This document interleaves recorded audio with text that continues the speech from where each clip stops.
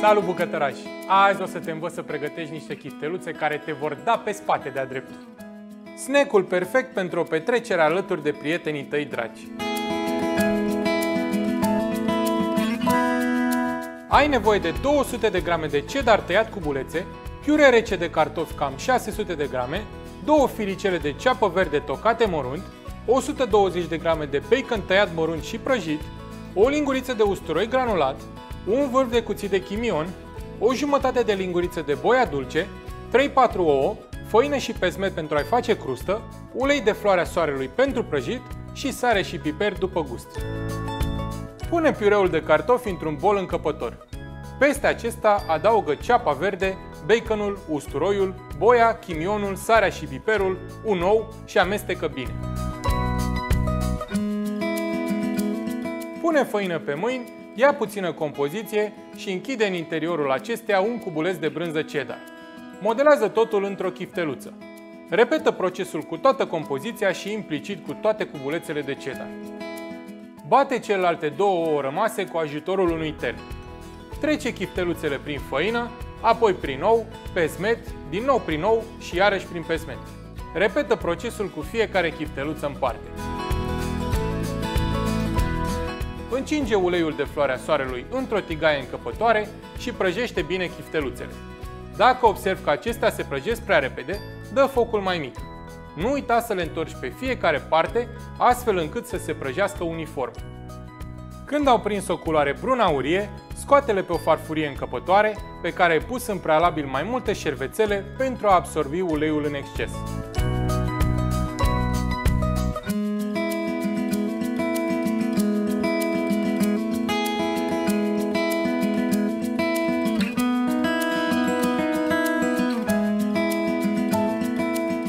Ador snack-urile acestea rapide și merg de minune cu un sos tartar, un sos alioli sau cu smântână.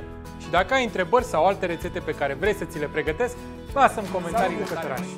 Este una din diminețile în care ai dormit foarte mult și ești în întârziere, dar parcă ai mâncat totuși ceva, sau începe meciul în 10 minute și tu ai uitat să-ți cumperi chipsuri de la magazinul din colț? Ei bine, am eu soluția. M-am gândit să te învăț să-ți pregătești o pizza altfel de cum ai mâncat-o până acum. Mult mai simplă, mult mai rapid. Pe lipie libaneze. Ai nevoie de câteva lipi libaneze, mozzarella pentru pizza circa 100-150 de grame, sos de roșii cam 4-5 linguri, o mână de roșii sherry, câteva roșii uscate, busuioc proaspăt, mix de ce salată doriți, cremă de oțet balsamic și sare și piper după gust. Poți să-ți personalizezi pizza cu ce topping dorești. Eu am ales astăzi o variantă mai light, fără carne. Pune lipia libaneză în tavă și unge-o cu sos de roșii. Tai apoi mozzarella cu bulețe și distribuie-o egal pe lipii. Adaugă peste aceasta roșiile uscate, busuiocul, sarea și piperul. Încinge cuptorul la 190 de grade și introdu lipile înăuntru până devin crocante, iar mozzarella s-a topit frumos va fi ușor aurie și va dura câteva minute. După ce ai scos-o din cuptor, adaugă pe deasupra roșiile sherry tăiate în prealabil în patru, împreună cu salata după gust și crema de oțet balsamic. După cum ți-am spus mai devreme, îți poți pregăti pizza cu ce topping dorești. Fie că vorbim de cașcaval, de bacon, de salam, de cârnăciori, alegerile sunt nenumărate. Mega rapid și bun. Acum nu mai trebuie să te neglijezi nici măcar în diminețile în care ți-ai permis să dormi puțin mai mult. Dacă mai ai întrebări sau alte rețete pe care dorești să ți le pregătesc, lasă în comentariile tale mai jos. Pa, bucătăraș! Salut, bucătăraș! Nu mai știi ce gustare să pregătești copiilor și te-ai săturat de preparatele din cartofi? Iată o rețetă simplă, delicioasă și fără grăsimi. Crochetele rumene din conopidă, coapte în cuptor, sunt numai bune pentru o gustare rapidă. Ai nevoie de 500 de grame conopidă, 150 de grame telemea, 2 ouă, 2 linguri cu mărar proaspăt tocat, 4 linguri cu pezmet, jumătate de linguriță nucșoară rasă, sare și piper după gust și opțional 2 linguri semințe de pin. Hai să începem, e foarte ușor. Rupe conopida în buchețele, spală-o bine și pune-o să fiarbă pentru 10 minute în apă clocotită cu puțină sare. Scurge-o, clătește-o cu apă rece și lasă-o întrosită. Taie apoi conopida în cubulețe și amestec-o cu brânza dată pe răzătoarea cu ochiuri mari. Adaugă ouăle, pezmetul, mărarul și opțional semințele de pin pentru o textură crocantă. Condimentează după gust cu sare și piper, nucșoară rasă și omogenizează bine compoziția. Formează crochetele și așează-le într-o tavă pe hârtie de coc.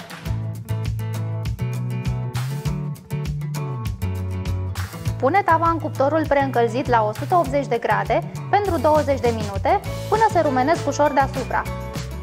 Lasă crochetele puțin la răcit și servește-le alături de un sos cu iaurt, mărar și usturoi.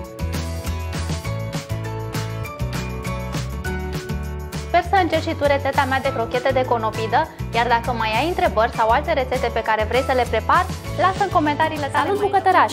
Tu cât de repede poți pregăti un mic dejun delicios? Îți voi arăta o super rețetă! Brioșele sărate cu ciuperci și telemea sunt ideale pentru masa de dimineață sau pachetelul de școală. Mai mult decât atât, poți combina ce ingrediente îți plac.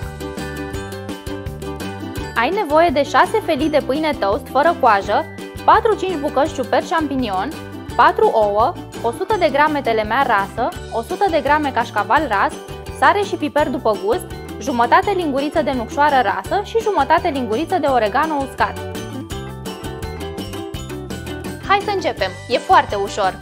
Trece cu sucitorul peste feliile de pâine toast până devin subțiri și flexibile.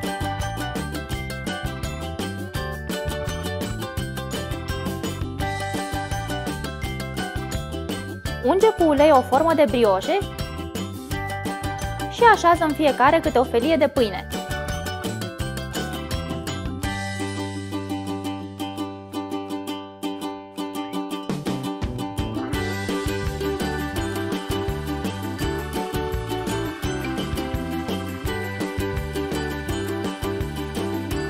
Bate bine ouăle și amestecă-le apoi cu telemeaua rasă și ciupercile tăiate cuburi. Adaugă sare și piper după gust, nucșoara și oregano. Pune în fiecare formă de brioșă câte 2-3 linguri din amestecul cu ciuperci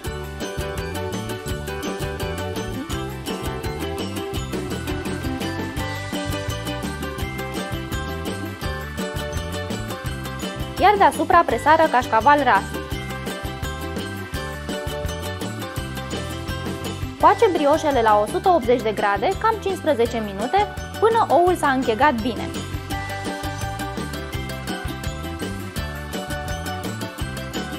Servește-le fierbinți alături de o salată și vei avea un mic dejun perfect.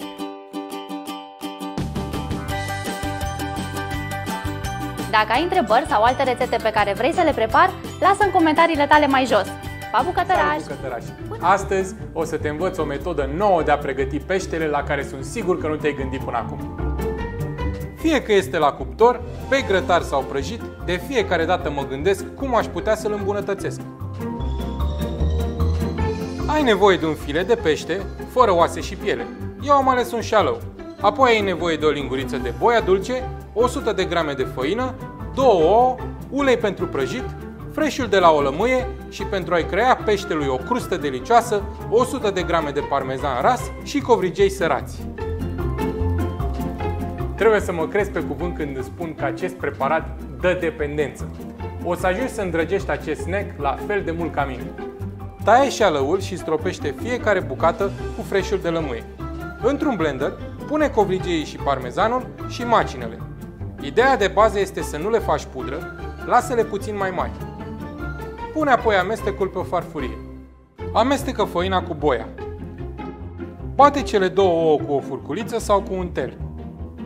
Trece prima dată bucățile de pește prin făină și boia, apoi prin ou și prin amestecul de covrigei și parmezan. Încinge uleiul într-o tigaie și când este gata de prăjit, pune bucățile de pește înăuntru. Prăjește-le pe ambele părți până capăt o nuanță aurie. Scoate-le pe o farfurie cu șervețele pentru a absorbi uleiul în exces. Servește-le alături de cartofi prăjiți sau chipsuri, lângă un sos tartar, alioli sau chiar un sos sweet chili. poți oricând să-mi urmezi exemplul și să-i servești cu o dulceață de ardei iuți. Poți oricând să faci lucruri minunate și totodată simple în bucătărie. Nu trebuie să-ți fie frică să experimentezi. Doar așa s-au descoperit cele mai de seamă lucruri, nu? Dacă ai întrebări sau alte rețete pe care dorești să ți le pregătesc, lasă în comentariile tale mai jos. Pa, bucătăraș! Până data viitoare, nu uita să te abonezi, să dai like paginii de Facebook sau să mai cotrobăi printre celelalte rețete.